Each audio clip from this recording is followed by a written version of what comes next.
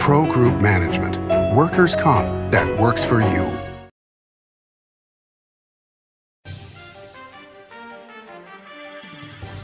Welcome to Nevada Newsmakers on the broadcast today. We're talking business with Randi Thompson here for the whole show on an all new Nevada Newsmakers. Hello, is this D&D Roofing? Yes, it is. How may I help you? You did such a great job on my roof. May I speak to the owner? I am an owner. Oh, can I speak to your supervisor? Sure. How may I help you?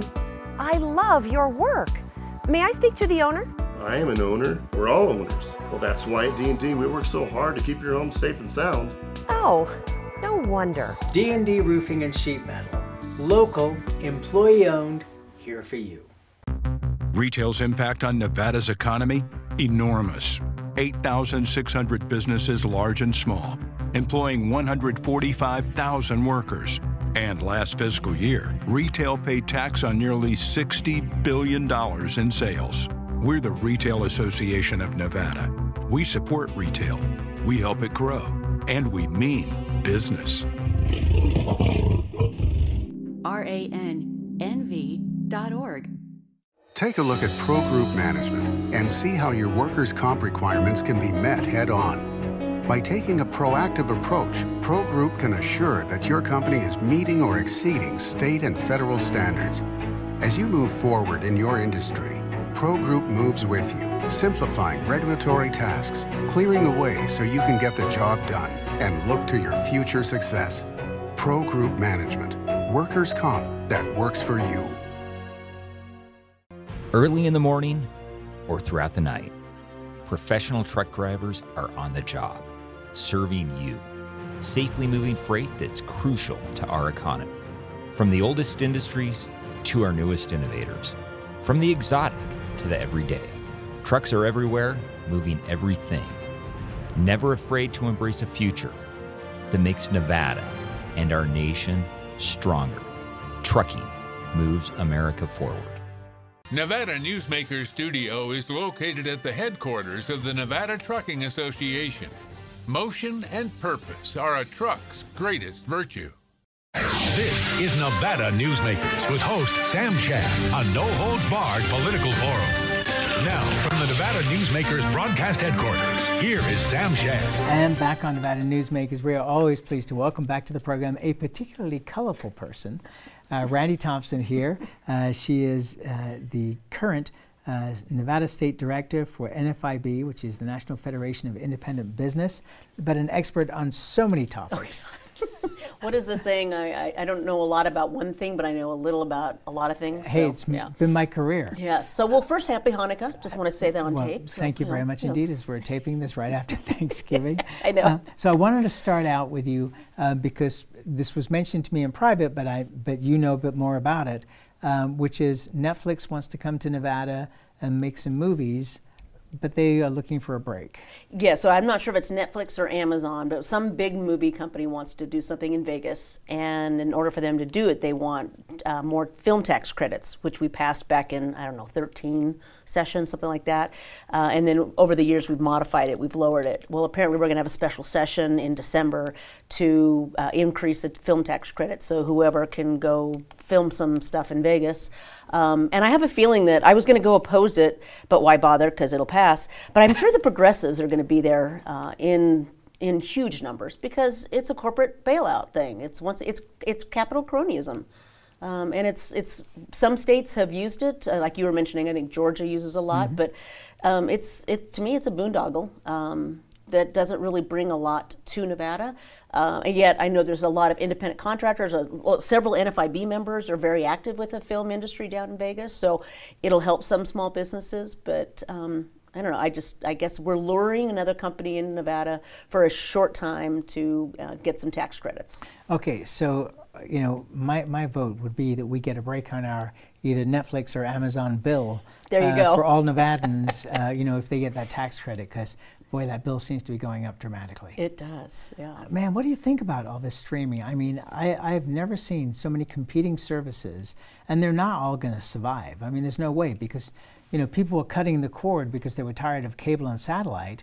but they're paying way more now, not only for all these different streaming services, but then they all offer you, like if you want to watch the latest James Bond movie at home, it's 1995. Yeah, we were going to download the Dune, but it was 30 bucks. I'm like, okay, we'll wait till we go to the theater. Um, so it's just, yeah, it's it's keeping people at home which maybe that helps for COVID. I don't know, but um, there is a lot of competition out there for streaming services, and I think what you're getting now is adults are becoming TV addicts. It's like, oh, I, I gotta watch. I'm, I'm, just, I gotta watch this series, and the, yeah, all I hear about is Yellowstone, Yellowstone, Yellowstone. So it's a very good show. I guess I, I, I haven't made it through the first one yet. I found it kind of boring, but I'm sure. But it just, it, I, I see my husband. He, he's up at two in the morning streaming something because it's so interesting because there's so much content out there now.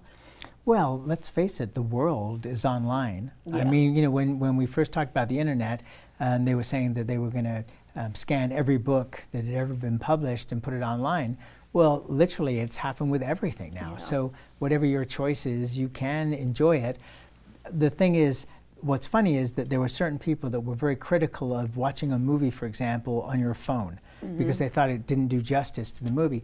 But people watch it from their phone to going to see it at the biggest theaters, the IMAXs all around the country. So it's mm -hmm. it's actually working out quite well. Let's talk about business. Okay. So, you know, we, we have this interesting time because people are complaining about inflation, but they don't really understand all the, the pieces of this inflation. So first of all, and, and please feel free to correct me anywhere because I am no economist, but first of all, you have pent up demand. So mm -hmm. people have not been able to do anything for a couple of years. Now they are just dying to do it. And they also have money because the government sent them all this money. And if they were able to keep their jobs, they were getting money and not spending it. So now they have money to spend. So now you have the toilet paper situation where everybody wants to buy everything, but you have way more ships coming in way more packages that now Amazon needs to deliver. Oh, you just ordered it and it arrives 10 minutes later. Um, so our society is even more crazy than it was before. We can't wait two days. We have to get it in an hour. Um, and so this puts pressure on the entire system. Those that have the most money can get the services the quickest. Other people have to wait. And prices keep going up. And, you know, you have a situation where OPEC uh, wants to raise more money for their members. And so they raise the price of gasoline. We cut back on our gasoline, you know, and through the administration and through uh, the price of gas dropping, so that stopped all of the, uh, the gas production in this country, the fracking. So prices are going to go up. Mm -hmm. The question is, Randi Thompson, do they come down? They will eventually. Um, several economists are saying that um, inflation is not transitory. It is. It, it, can become permanent. And when you've got a Fed that's injecting money into the system, like it's still doing, uh, our federal policy, the uh, central banks are still putting money into the system, along with getting stimulus checks out. Now you've got the three hundred dollar um, child credit per month. Um, you've just got so much money going to people that that demand. It's it, if if we were in the normal society like a year ago when we didn't have as much money and you had the same amount of, of product flowing out, great. But people are demanding more, so they have increased production. So, and but yet the chain is clogged. Our, our supply chain is clogged. Um, why lower prices when people are willing to pay for it? Um, but what you've also got pushing it up is labor costs. Um, people are, if they're quitting a job, they're finding another job someplace else that pays them better, or they're working under the table uh, and keeping their old job. So inflation is is not going anywhere, um, and not for a while. It will. I'm going to say 2023 is what I'm kind of hearing that you know give us. It's going to take a year before things kind of normalize.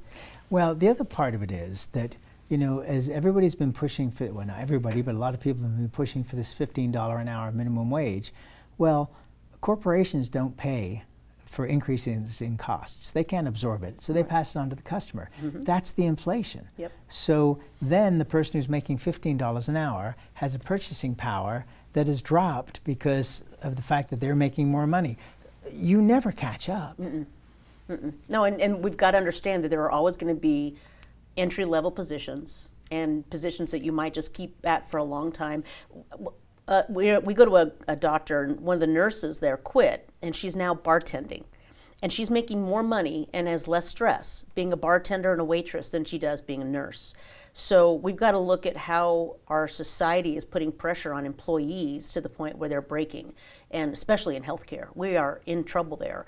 Um, but she's actually making more money as a bartender than she was making as a nurse. So people are going, wait a minute, even though I've got this degree, I can go off and do something else and make more money. But all that's doing is making things more expensive. Well, are you not feeling the same thing I am, which is whenever you go out and get a service from somebody, you are so nice to that person because you're so grateful they're actually doing the job so you can get the service you need. I stop by, whenever I see some FedEx guy unloading a box, I stop and say, thank you for working. um, I mean, I, I was, we took a, uh, we were driving up to Truckee a couple weeks ago and I'm waving at every truck driver, thank you, thank you, thank you. So, especially in the service industry, um, we over, I over tip every day now and whenever we go out because I just so appreciate that they're there. We were talking to a bartender at Red Robin and I said, How are things? She goes, People come up, people come and do one shift, and then they just don't come back. They don't call, they don't show, they just, nothing. So people are like, I don't want to work this hard, forget it. Um, I have a problem with my LinkedIn profile because I keep getting job offers for Red Robin as a hostess. I think that I think I need to fill out that uh, form a little bit better, um, but it is kind of crazy. Um, but even you know when you're talking about the you know increasing your tipping, that's inflationary as well. Mm-hmm. But I remember talking to our good friend Ty Cobb years ago about the debt as it was then, which is multiple trillions of dollars below what it is now. And I said to him, Isn't inflation the way that we actually pay off the debt? And he said, Yeah. Well, that's an interesting approach to it, I guess. Yeah. Well, because the yeah. man, the money becomes less valuable, mm-hmm. and so therefore it becomes easier to pay off. The thing that's scary was what Mark Amodei said on the program, Congressman Mark Amodei, um, was that all the money that we are borrowing now for these government programs, uh, we're going to have to pay whatever the interest rate is. It's not at a set interest rate of near zero right. that it is right now. That if it goes up half a percent, one percent, whatever, can you imagine what that is on these trillions of dollars? That's why a lot of us are opposed to the Build Back Better bill, these budget reconciliation bills, this money that Congress wants to fund what trillions of dollars is it is because they're going to raise up interest rates eventually. The Fed's already talked about raising interest rates probably the end, middle next year. So you're going to see interest rates going up, which means we're just going to owe more. Well, the other thing too is that you know uh, the senior citizens have been let's use the word screwed for a long time yeah. because with interest rates near zero, you saved all your life for retirement and you didn't get into the risky stock market and so you were looking for maybe a, a four or five percent return on your money. You've gotten zilch. Yep. You've been. You might as well have kept the money in your mattress yep. um, for what you were getting from a bank if you were getting anything. And so, seniors, people who are savers, need interest rates to go up. Mm-hmm. But what is that going to do to our economy when they do? Not just for you know the government, but for the average person. I mean, you remember and I'm sure there are some people that are still getting a 12% interest mm-hmm. rate on their credit cards. Ugh, try and get one of those today. Yeah, I remember paying 12 12 percent interest on my home loan right. back in the 1991. So yeah, I mean, once those you start increasing interest rates, you're going to increase mortgage rates, and that makes a home even more, less affordable, um, and for for those that are trying to buy. So, you know, it's a trickle up and a trickle down effect. um, and in growth states, as we are here in Nevada, where we're seeing um, now it's been kind of an interesting situation in Las Vegas by comparison with Northern Nevada, but Northern Nevada, Bob Lucey was taping a show with me earlier today, and he said that we've seen somewhere around 126,000 new residents in the last few years here in Northern Nevada. He's expecting that number to double um, in the next few years. Mm-hmm. Well, that's a 40% increase in population. I mean, where are we going to put those people? We were talking about uh, based on Mike Kazmierski of EDAWN saying that we need 5,000 new homes a year for the next 10 years. Well, that's nothing by what we really are going to need. Yeah, I think Brian Bonnenfant from UNR was saying they're expecting about 50,000 people to move here every year for the next, I don't know, 10 years. you know, whatever it is, but it's it's just it's a continual growth pattern here. So so that's doubling, double double the population, right? And you're that's why we need that Washoe Lands Act so badly, oh. the, the bill.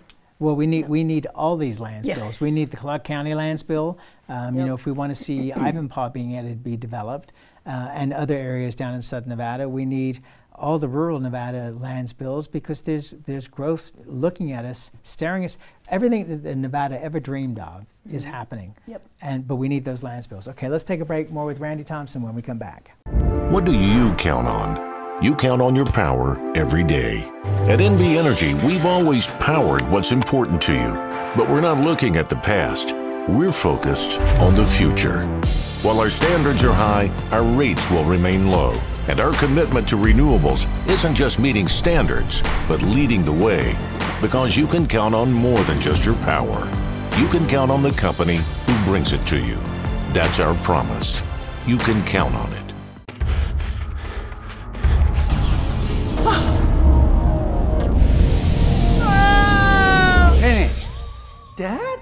Are you learning? This place is great. Huh? You gotta try this.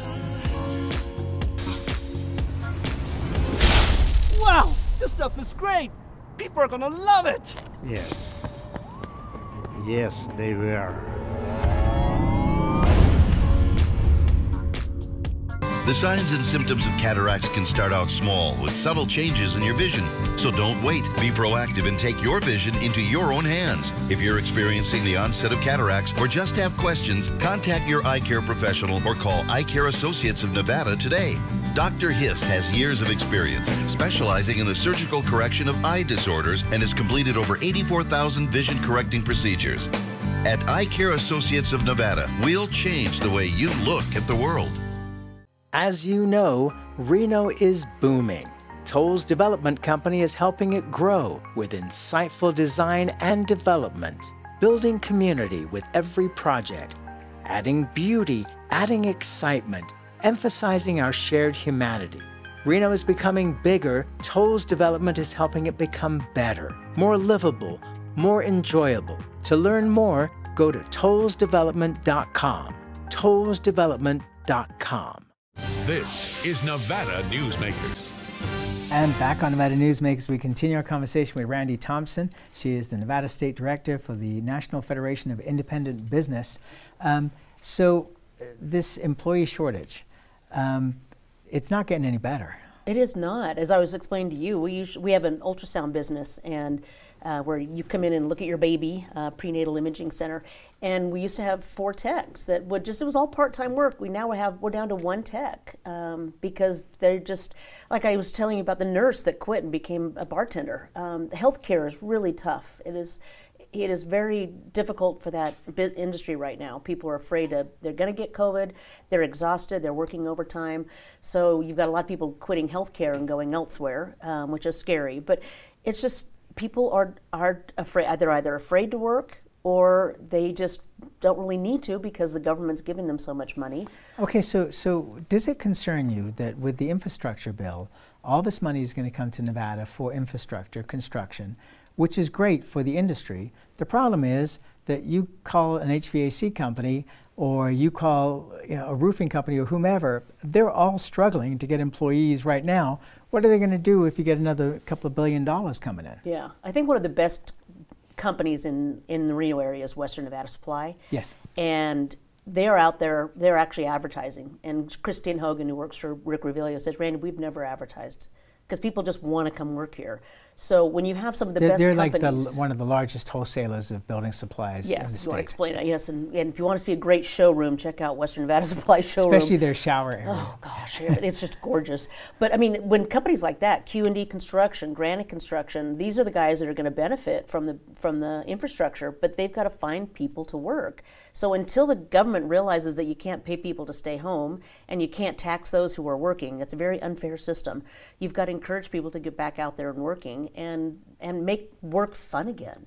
So it's and but we've got to stop subsidizing all of these various mechanisms for okay, so, social spending. So what subsidies are left here? The child care. Child care is a big one. Right. It is. We just got a stimulus check. My husband and I did. I don't know why, but they're still sending out stimulus checks. So they're still sending out money. They're um, and then there's still there's some the um, unemployment for um, independent contractors that's still available. So you've got people that really don't need to go back to work. We've extended how long you can collect unemployment. We've taken away at least you know, somewhat, we've taken away that incentive that you've got to be looking for a job, actively looking in order to get unemployment. So you've just got people that are able to stay home. If you if you were able to sell your house that's doubled in price, and if you were able to if you bought in stock um, and that stock market's pretty much tripled, you can retire at 40, 50. so we've got a great we had a great economy uh, up till a year ago, and people are benefiting from that, and they're quitting the workforce. Okay, so so then what is the answer? Now, obviously, you want to cut off the benefits, and they are going to get cut off over time here. Mhm. Um, but at that point, you'll have lost a big chunk of the workforce to retirement, as you, you mentioned there, uh, but natural retirement as well. People getting older can't do the job or whatever. I opened up the door to, you know, do we do something about immigration? Do we bring in workers? Because certainly the construction industry could use them, and there's lots of other industries that could use them. And the, the pushback I got was instantaneous. So, no, we don't want to do that. Well, Why not? how do, how do you solve the problem? Yeah. I mean, be it the H-1B visas or H-1, the, the, the higher tech jobs that they bring in, uh, expanding that program because those are people that are taking jobs that, that Americans are competing for, but they don't always get them. Um, but guest worker programs, especially for construction industry, for landscaping, for the summer jobs, for seasonal workers, um, every industry is, is struggling right now, and Americans don't necessarily want to work. So let's look at a workforce that pe- people that are coming here for a better life, let's help them get a better life. Um, and I think the alternative is that otherwise we're going to see a greater move to robotics um, than we had anticipated. That it's not going to be 10 years, 15 years out, it's going to be two years out. Yeah. And we're already seeing that in, in the gaming industry. Oh, you're, I mean, Amazon. I was watching a blurb on Amazon today where there's a one person standing there, but there's robots taking the shelving everywhere. And they, Amazon said they just just hired 45,000 people in the last week nationwide. So at least people are going back to work and they're being incentivized, but they're being paid a lot more than they expected to be, and thus, like we talked about, inflation. The prices are going up. Yeah, and the $15 an hour minimum wage is kind of amusing at this point. Well, you know, I've argued against that all the time because I say let the marketplace dictate what people should be paid, and the marketplace is right now at about seventeen dollars an hour. So forget minimum wage. Yeah, good luck on that too, by the way. Yeah. All right, let's take another break. we'll be right back with Randi Thompson after this. 7 at 7 is available anytime, anywhere. I'm Riley Smith with your Vegas Golden Knights. Watch seven minutes of nonstop news from the Las Vegas Review Journal. Streaming on LVRJ.com and Twitter. Powered by the Las Vegas Review Journal. Modern boutique Ahern Hotel and Events Center in Las Vegas. Host meetings and events on two floors. Stay in luxurious rooms and suites. Unlimited branding opportunities. Regional Italian cuisine by Chef Mark Segrizi. Flexible event spaces. Full buyout options. Visit ahernhotel.com today. I'm Jeff German, an investigative reporter with the Las Vegas Review Journal. I'm your guide for season two of Mobbed Up The Fight for Las Vegas. You're in with every gangster and hoodlum in the United States. I don't go for that, Mr. Kennedy. I don't go for that kind of action. I was on television accused of fronting for the mob. Subscribe to Mobbed Up The Fight for Las Vegas Season 2 today on Apple Podcasts, Spotify, or wherever you get your podcasts.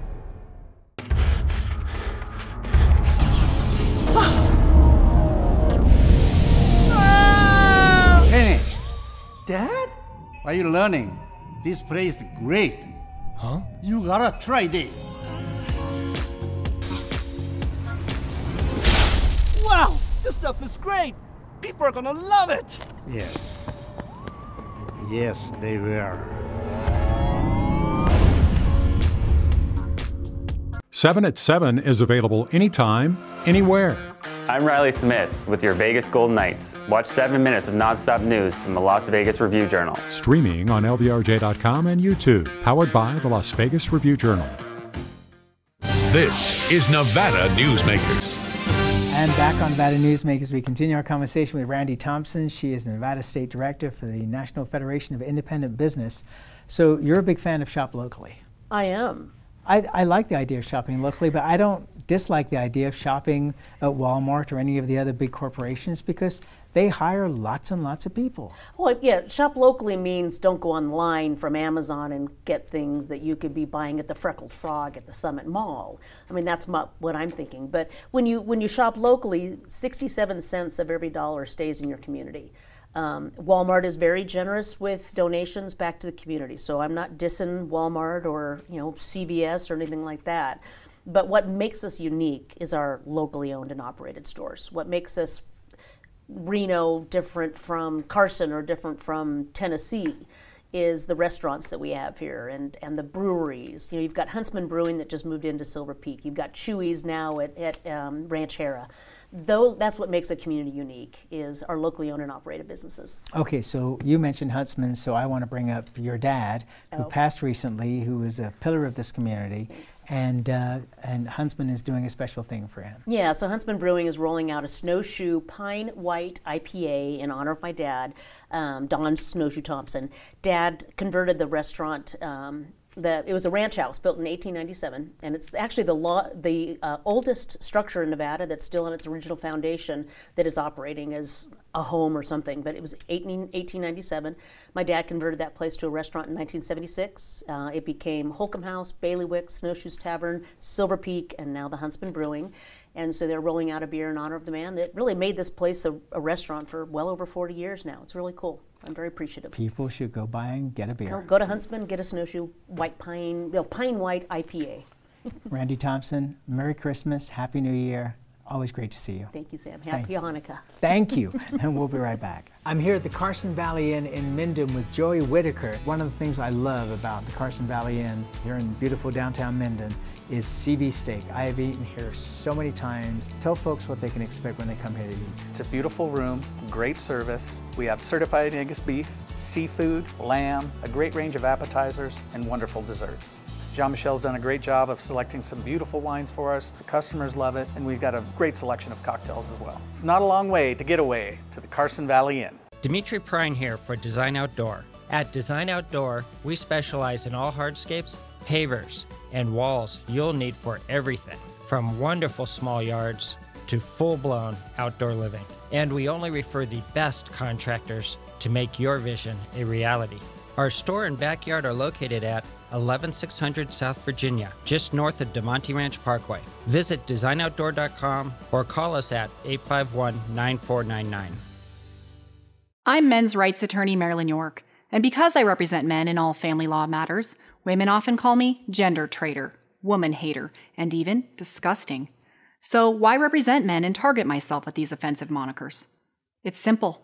Children with fathers in their lives are six times less likely to drop out of school 15 times less likely to go to prison, and five times less likely to commit suicide. So, ladies, you can hate me, but please love your children more than you hate their fathers.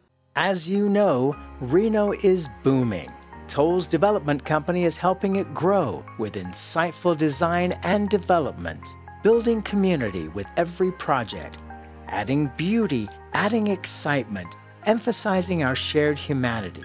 Reno is becoming bigger, Toll's development is helping it become better, more livable, more enjoyable. To learn more, go to tollsdevelopment.com. tollsdevelopment.com. Watch Nevada Newsmakers on YouTube. You can do that now these days. We'll see you on the next broadcast.